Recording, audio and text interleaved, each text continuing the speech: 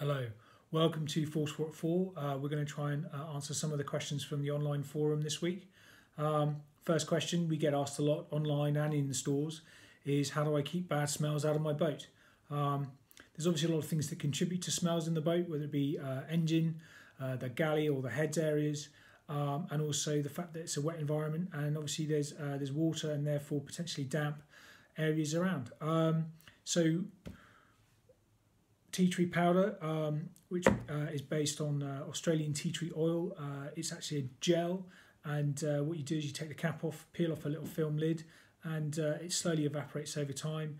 And uh, it sort of attacks, is the best way of describing it, sort of the microbes in the air and helps to eliminate those bad odours. Um, there's also a spray which you can use on upholstery and obviously sort of bad areas of mould or mildew.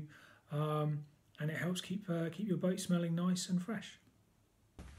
One of the most popular questions we get asked on Force 4 is what is the best offshore or ocean suit that you do? Well, the answer to that is this one. This is the Henri Lloyd Offshore Elite. Um, now, this is an exclusive to Force 4 product. Um, uh, it's the Offshore Elite model suit, but it's made from a much heavier duty Gore-Tex fabric. Uh, so it's an offshore suit, it's got very high in the collar. Adjustable Optivision hood. Big spume guard across the across the nose. Hand warmer uh, pockets in the chest with a zip. Hand warmer pockets on the waist, also with the cargo pocket as well. The trouser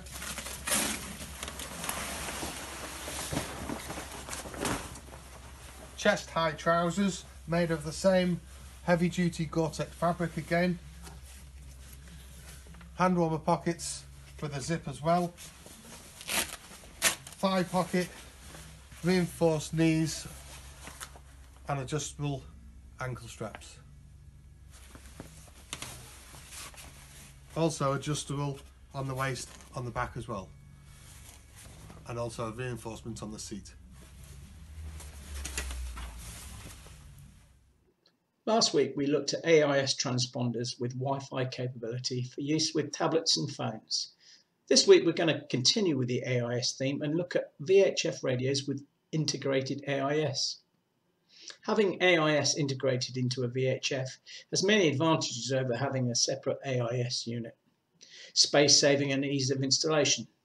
One less DC circuit to worry about wiring most have internal splitters, so only one connection to an antenna is required. And some models have a direct DSC call to AIS target function. The first model in our lineup today is from B&G and it's a model called the V60B and this is rather special in the fact that it's the first VHF radio to feature an integral AIS transponder. The V60B has an internal GPS receiver but also has a facility on the rear for connecting a external GPS antenna. The unit is supplied with uh, this fist mic which can fit to either the port on the front here or to the port on the rear. The unit has both NMEA 0183 and NMEA 2000 connectivity for connecting up to a chart plotter. It has an MOB function where press and hold the MOB button here and then it will mark a, a waypoint in your current location and will enter man overboard mode to show you how far away you are and where you need to steer to get back to the position of the MOB event. The MOB waypoint is also transmitted over the NMEA 2000 network to the rest of your equipment. On the rear, you'll notice there are two connection points for antennas.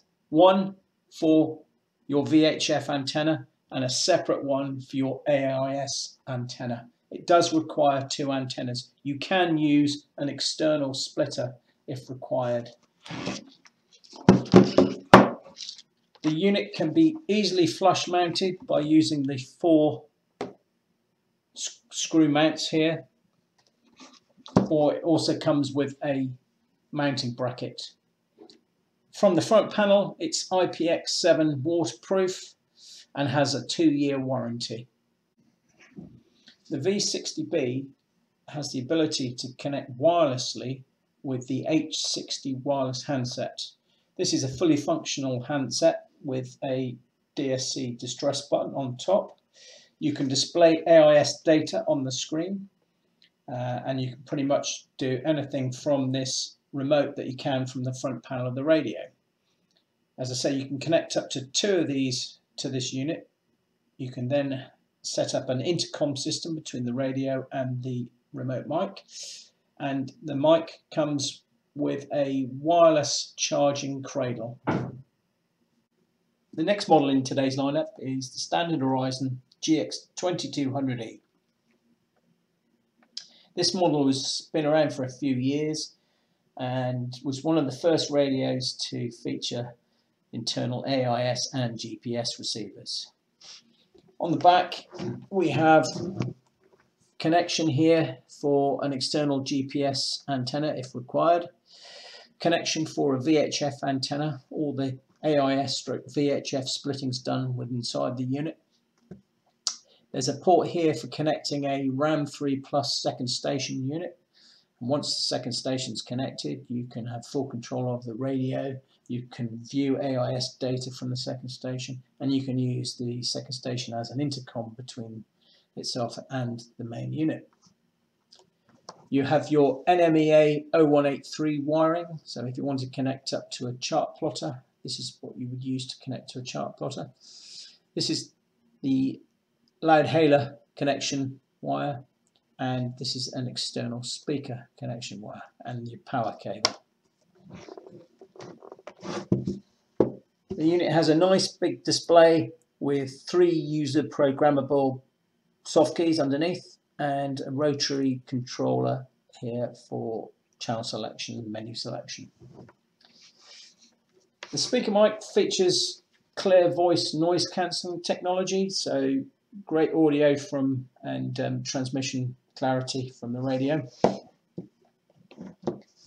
There's a built-in 30 watt loud hailer, so when you connect it up to a, a Loudhailer from, from the loud hailer connection, uh, you can use it as a loud loud hailer, and it also has pre-programmed fog signals uh, built into the unit. You can view AIS data on the screen here. You can select an AIS target from uh, an AIS list and directly call, place a DSC call to that to that target, um, which is quite a handy feature. And this unit is fully submersible to IPX7 and backed by a three-year warranty. The next radio in our lineup for today is the ICOM M506GE.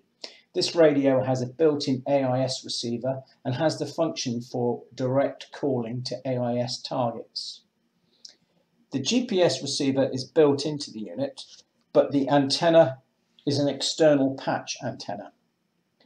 This connects to the rear of the unit via this connection here and the antenna can be mounted inside a GRP boat or mounted externally for a steel or wooden boat. The M506GE has both NMEA 0183 and NMEA 2000 connectivity. Any data on the NMEA 0183 bus can be converted inside the unit to NMEA 2000 if you're connecting it to other equipment. Other functions of the M506GE include last call voice recording, which automatically saves the last two minutes of the last incoming call. You can replay the received call and not miss any incoming calls. The M506 also features bidirectional active noise cancelling, which provides superb performance. It reduces background noise up to 90% in the received signal and up to 30% in the transmitting signal. This function can be turned off. The unit has a built-in 25 watt two-way hailer system when connected to a hailer horn and it has a built-in foghorn where you can select up to four patterns uh, for an automatic foghorn function. The M506 also features ICOM's AquaQuake draining function which vibrates water from the speaker grill using low frequency sound. The unit is IPX8, so extremely waterproof and is backed by a three-year warranty. The next unit in today's lineup is the Raymarine Ray 73 VHF, which features built-in AIS and GPS receivers. It has STNG or NMEA 2000 with an adapter cable. It has NMEA 183 connectivity. There's a connection for an external speaker, Loudhailer connections, and if you want to use an external GPS, there is a connection here. There is a port here for a Raymic second station, whether it be wired or wireless, and one connection for your VHF antenna. So all the splitting is done inside the unit.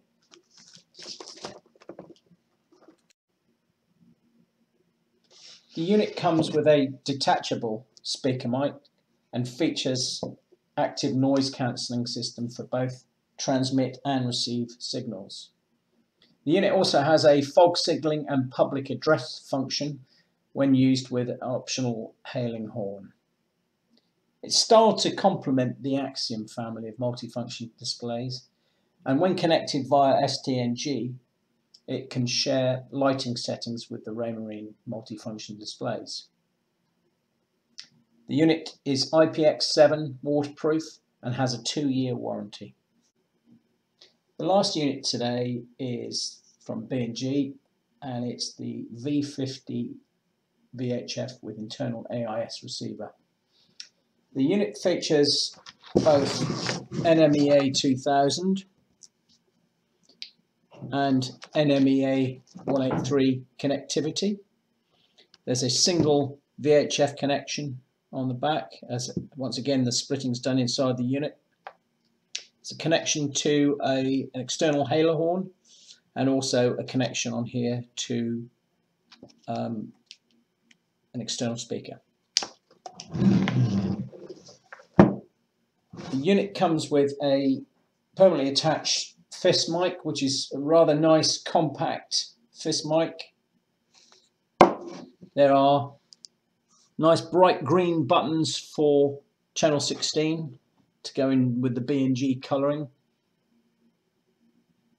The unit has an internal external hailer and foghorn functions when connected to an external hailer horn. It's a it's really easy to use with a rotary channel selection button, separate volume and squelch buttons, uh, and quick key presses to go in and out of the AIS display mode. And there is also an MOB function where you can press and hold the MOB button and it will mark a waypoint at that time and you it will then give you bearing and distance to get back to that waypoint. The unit is waterproof to IPX7 and comes with a two-year warranty.